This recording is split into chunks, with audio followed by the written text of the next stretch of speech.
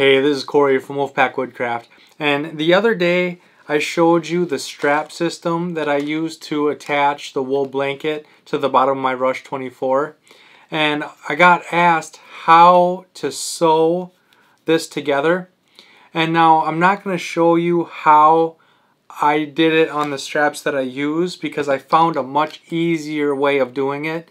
And so I'm going to show you the new technique that I have and uh, hopefully it'll help you guys sew together a lot more than just straps. Stay tuned.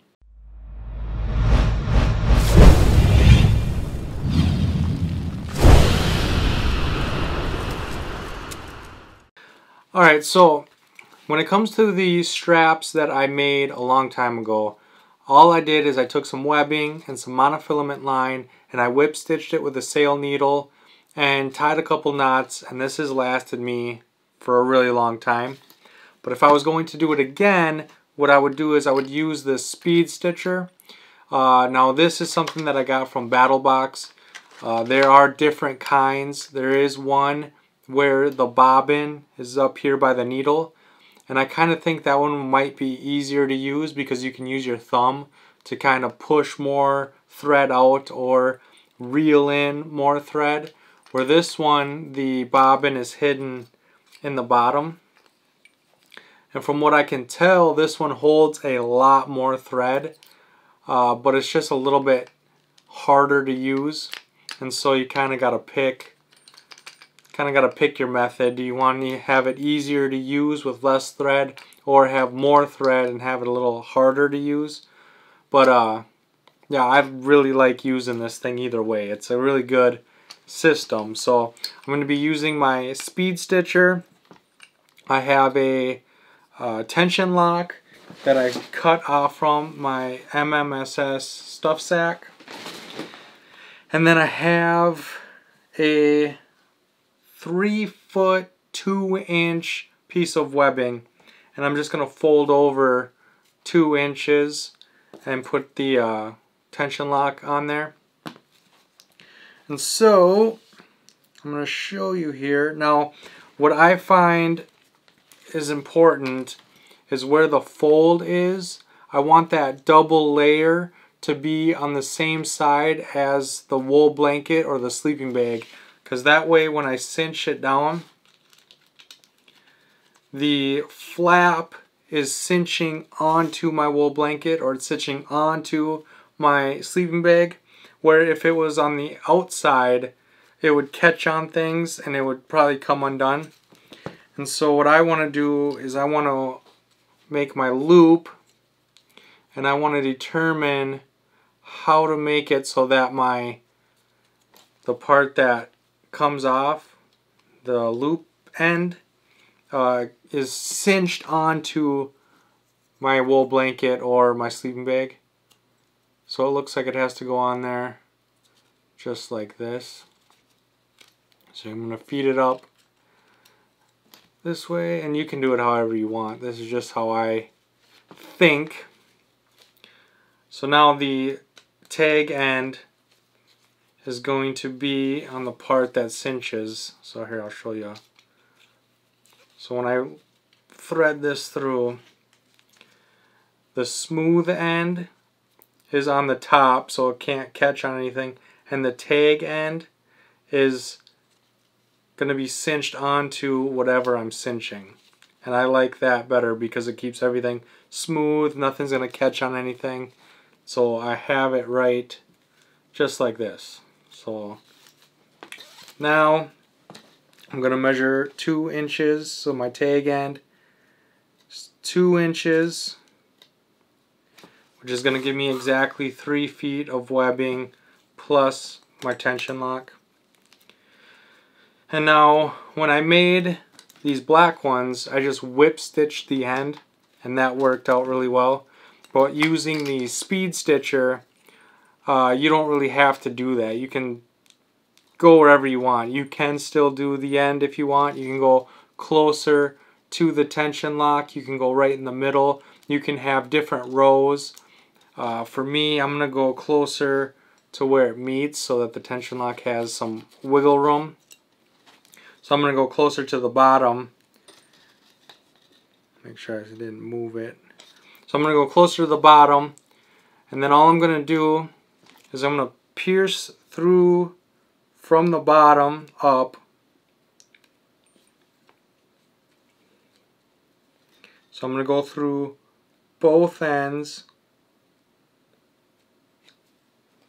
I'm going to pull my, all the thread through.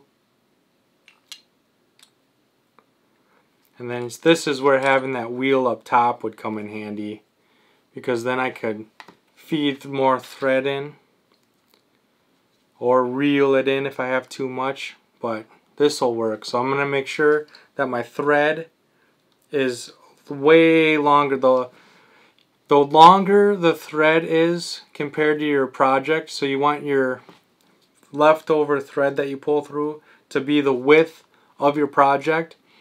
The more thread you have, the easier it's going to be to sew this together, but you're going to have a lot of waste at the end. And so you kind of just got to judge how easy do you want it to be and how much waste do you want. They kind of go hand in hand. You either get it really easy, but you waste a lot, or it's harder to thread once you get to the end. It's harder to thread, but you don't waste as much. And so that's something that you got to keep in mind as you're doing this. And so you got all your thread across your project. I got a lot of excess because I'm making a video, so I want it as easy as possible. And then you just pull out you move over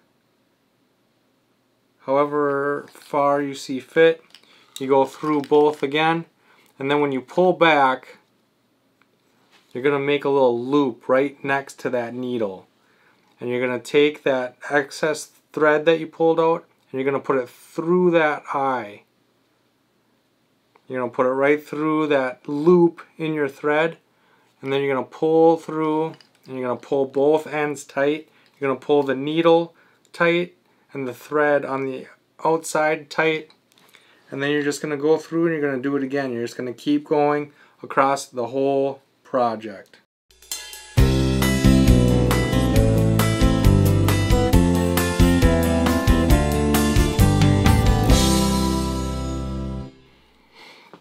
And so when I get to the end of the project, I go across the whole length and then I come back one and then I do the same thing I make my little loop and then I put this through just like I would but then that creates another loop. Since I went backwards so I went all the way through the project and then I went backwards a little bit.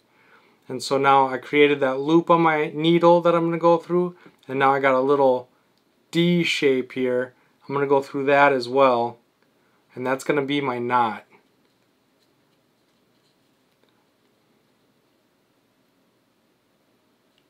So I'm going to go through the needle. I'm going to go through the little D that I made from going backwards. Here, I got to do it this way. I got to see what I'm doing.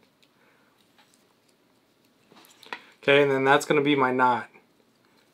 So I'm going to pull everything tight.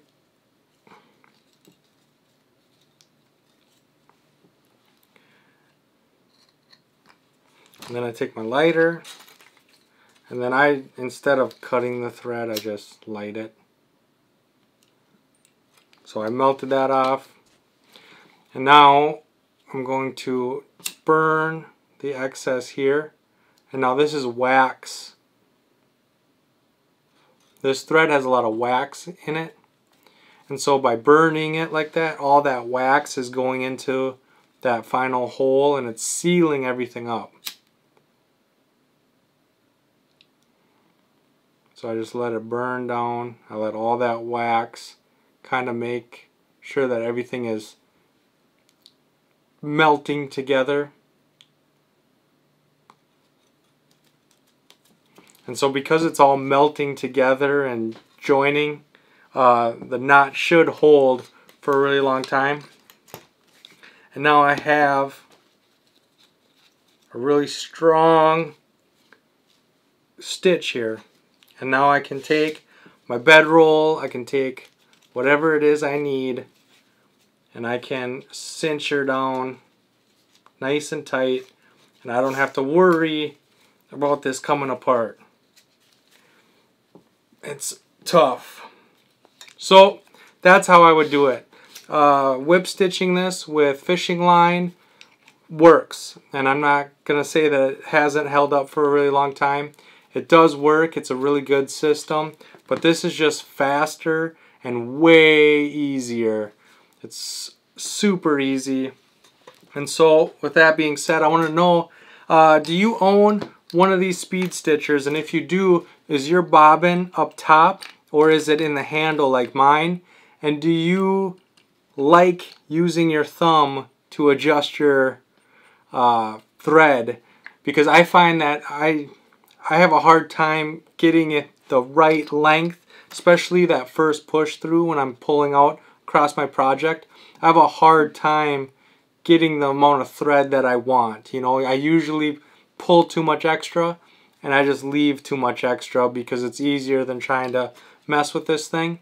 And so I might be upgrading to the one with the bobbin up top. And so if you own one of those, let me know in the description box down below uh, if you enjoy it. Then make sure to like and share this video to help spread that knowledge and those ideas to the people we care about most. And as always, don't forget to subscribe and come join the pack. I have a new video every Sunday and Thursday, and I can't wait to see you on the next one. Thanks, guys.